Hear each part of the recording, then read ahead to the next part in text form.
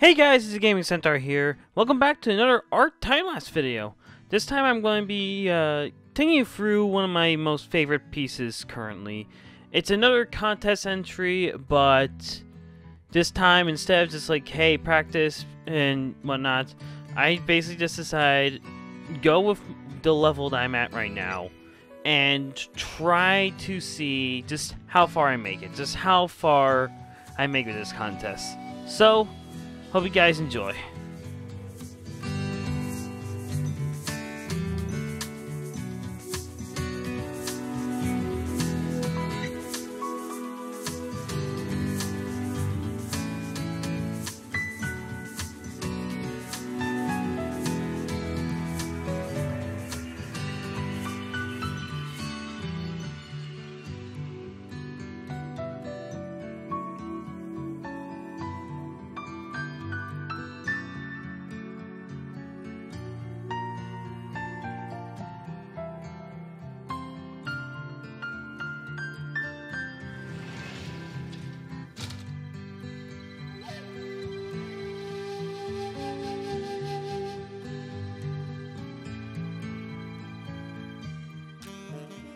So this image right here is the last one for my sort of mermaid week because I couldn't really put in the time for a full mermaid month basically. Not enough time for sketches, not enough time to get like the artwork that I wanted out. Just eh, planning just didn't go as well as I thought. But but now I'm here, now this is finished, and now I really like how this ended up becoming in the end. Like, I really hope that you guys really enjoy this. Like, uh, the paths I went to through and like sort of like um, you know, all that good stuff.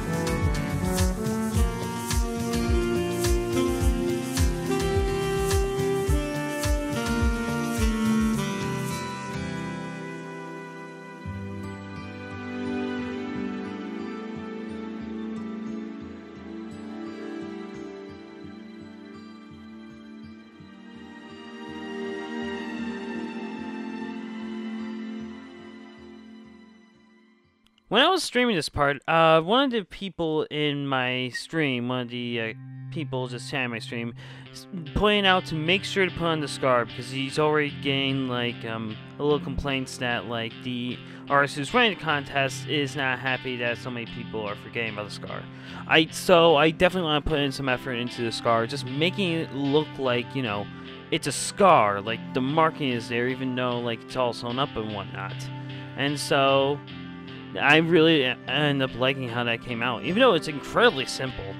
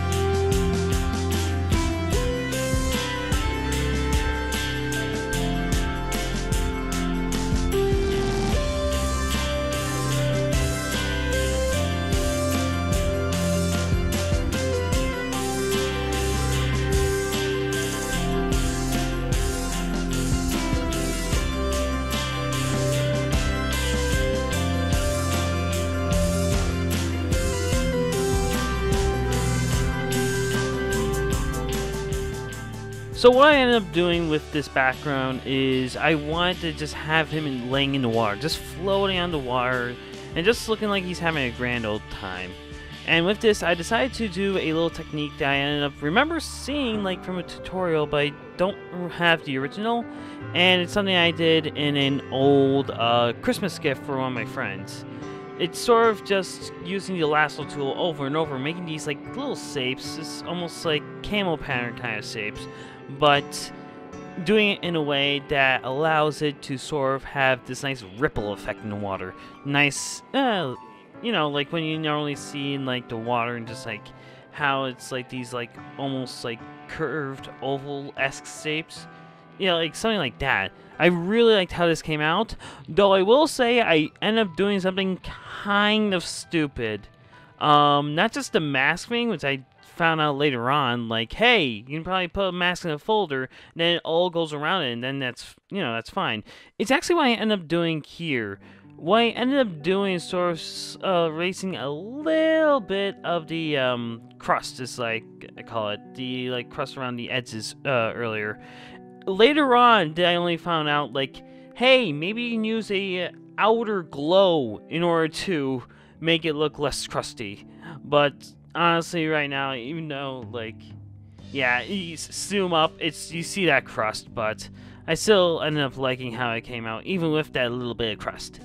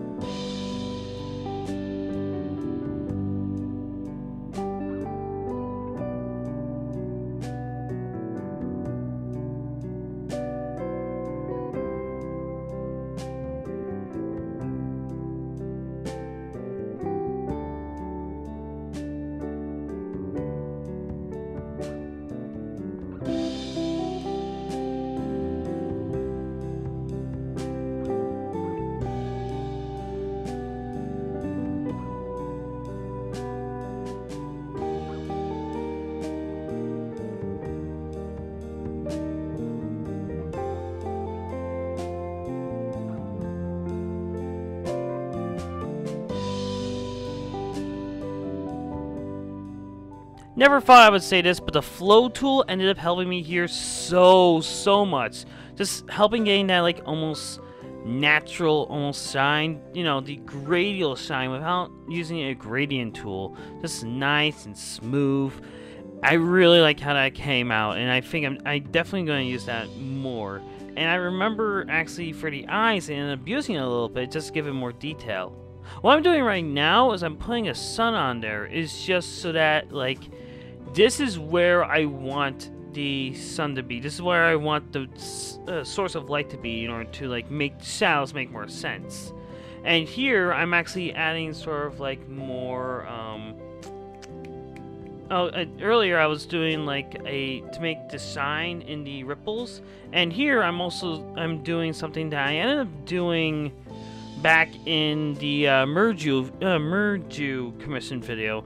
I'm uh, I'm coloring over the lines in order to make it feel more fitting with it rather than just black lines. And yeah, I really like how this ended up coming out. But similar to the Merju picture, I decided I also wanted to add strands to the hair again. Just add strands to the hair. It was tough, honestly. It was a little tough just because of the...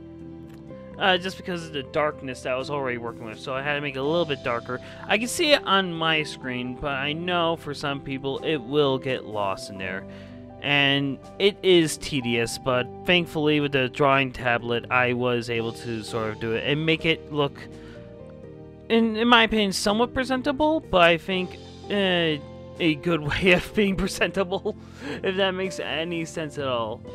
But yeah, it especially helps with the shine and whatnot. Just, uh, like I said, I want to make this as good as I can make it, as good as I can, remembering everything that I've done up till this point, and anything recent I've done as well.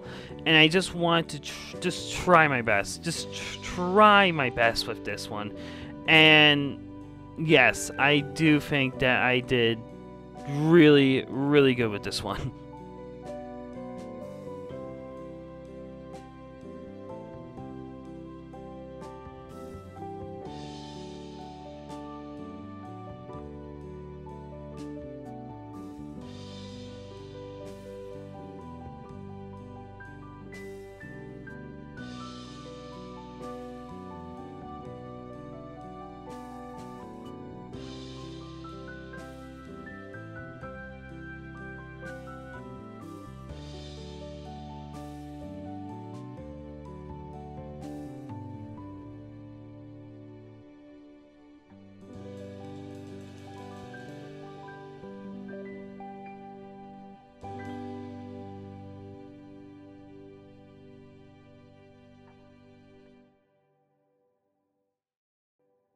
Thank you guys so much for watching.